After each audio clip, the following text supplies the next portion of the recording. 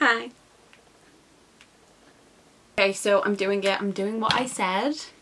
I still managed to find the foundation, so I am going to be doing a first impressions and a wear test as well. It's currently 12.20 right now, so it's not super early, but it's also not as late as I have done some wear tests in the past. So obviously I'm going to be testing the Revolution Conceal and Hydrate Radiance Foundation, but the concealer I haven't got because in Superdrug they only had the foundations and they just had a card that said you can get the concealers online. But I just wanted to do this video because I really really want to try this. So maybe I'll get the concealer another time. But for today we're just going to be testing this guy out. I think we're just going to get straight into it. We're going to do everything I usually do, a brush, a sponge, and then check-ins throughout the day. If I can do some while I'm at work, I'm going to try.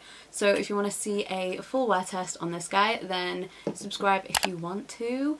Give the video a thumbs up if you like the idea of this video, and just keep watching my face right now.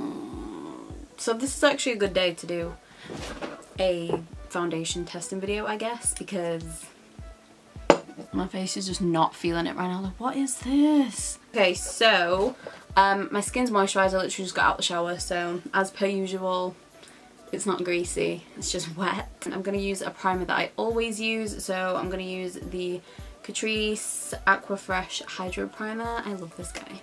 And I also wanted to make sure I was using a primer that's not dewy or matte or anything like that. Why is this not in front of me?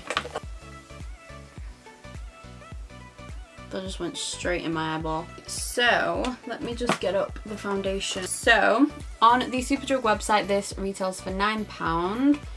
And how many shades? Okay, so in the store, okay, they have a lot of shades. Two, four,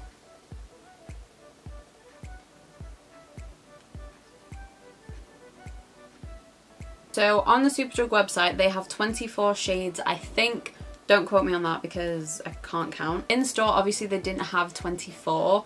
So I don't know how I feel about that. Like, I just feel like if you can't display all of the shades, don't sell the foundation in store then because it's just a bit awkward if you're like an in-between shade or literally there was about five shades in store. Maybe they're going to expand, I don't know, but I just think just do that. Just don't sell the foundation in store if you're not going to have all the shades because it's not fair on everyone else who can't find the shade. So I didn't want to wait and order it and all that so I just kind of went with it and I got F10 which I don't know if that's gonna be fine for me. I honestly have no idea.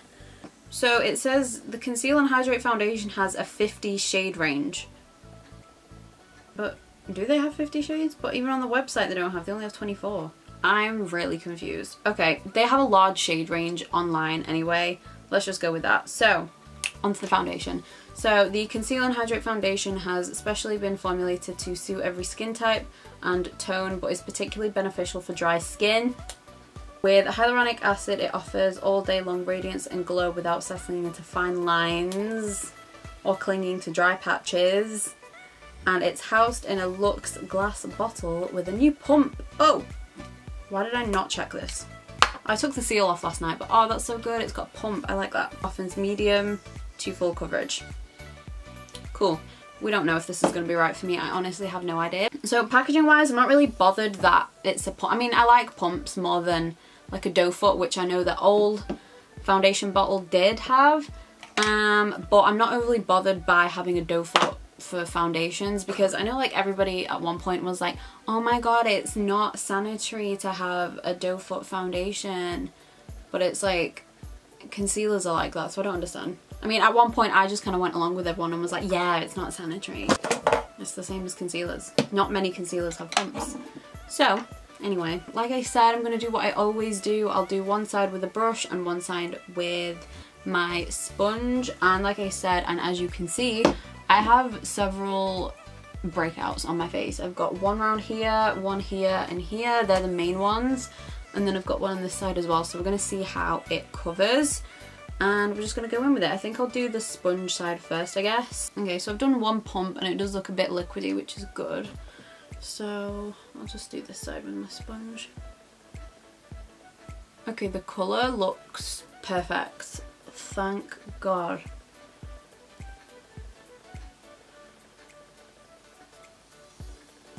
Oh, they also didn't have a tester for my shade.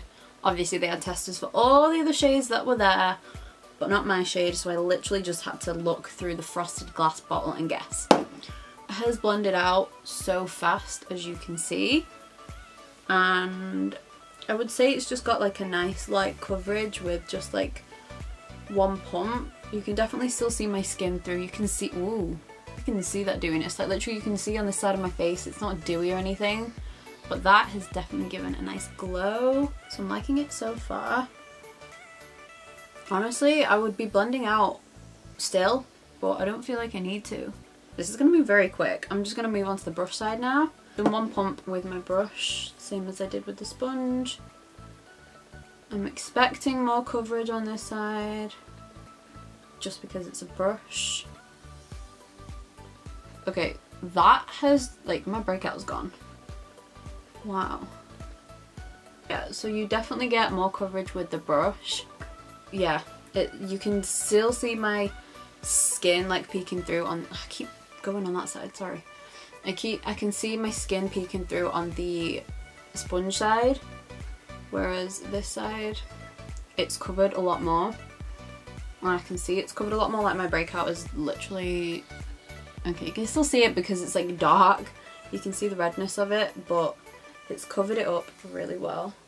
Okay, I'm really impressed. Look at that. That's super dewy. Oily skin would be interesting, like I'd be interested to see how this is on oily skin because that looks quite dewy to me.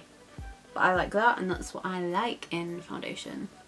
I think because we're testing it we may as well so I'm going to do the sponge shine again. I'm going to do like half a pump, not a full one because I feel like that's a lot of foundation to put on and to be fair I think I would just put one layer on.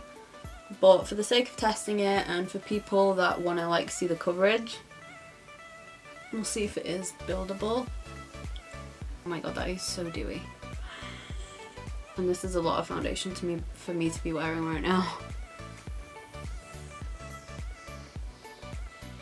I get more coverage with the brush. That looks so nice but it looks really nice with the sponge as well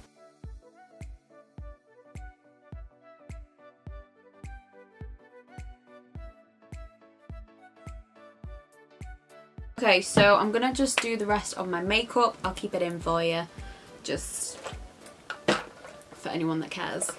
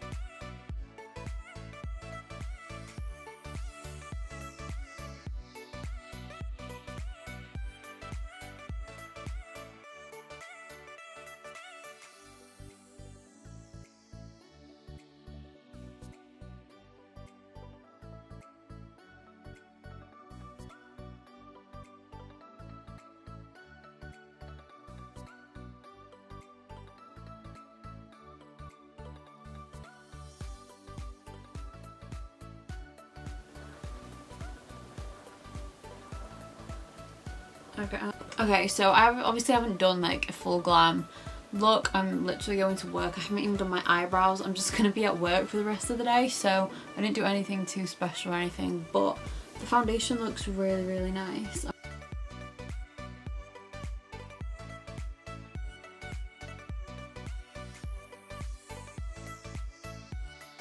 So it's now 12.46. It was 12.20 when I started the video, I'm pretty sure.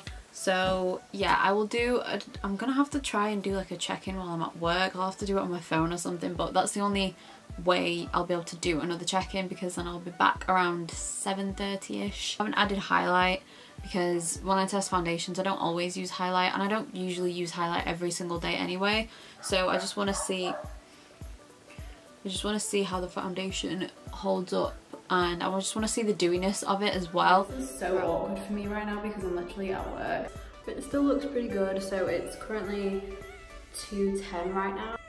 everything still looks pretty normal. I'm just gonna do another check-in when I get home. I'm hoping nobody walks in. That's gonna be really awkward. I'm not shiny or anything around like my cheek area. That's where I usually do get shiny if I do. We're still looking fine. Okay, hi. So I apologize for the awful lighting right now, but I've had to come into the bathroom because I was literally like two seconds away from just taking off my makeup and then I was like, crap, I'm filming. so anyway, this is my skin at the end of the day. Okay, so I don't even know if this is focused right now. I think it is. So I don't even look oily to be honest. Like, I'm like a tiny bit. You know what? I'm not. I'm just glowy. Worn really nicely throughout the day. I do think the shade is like the tiniest a bit too deep. But I can like easily change that with just like concealer or something. But I like it. Just look like the tiniest bit like foundation. So I feel like if I went in with just like one layer like I did, obviously the first time round, which is probably what I would do anyway, then it'd be fine. But yeah, with two layers, it does look a bit foundationy, but not too much and not as bad as like the other foundation. So I like this one a lot more than the other one. I'm definitely gonna keep wearing it, obviously. I wanna test it out a bit more with different concealers, different powders and all that good stuff. So yeah. So I think out of 10, I'd probably give it like a seven. Yeah, I'd give it a seven. That's good. And ugh, this is the worst video setup on the planet. So that's it for the video. So I hope you enjoyed it. If you did not, then sorry. And sorry for this lighting again. But bye.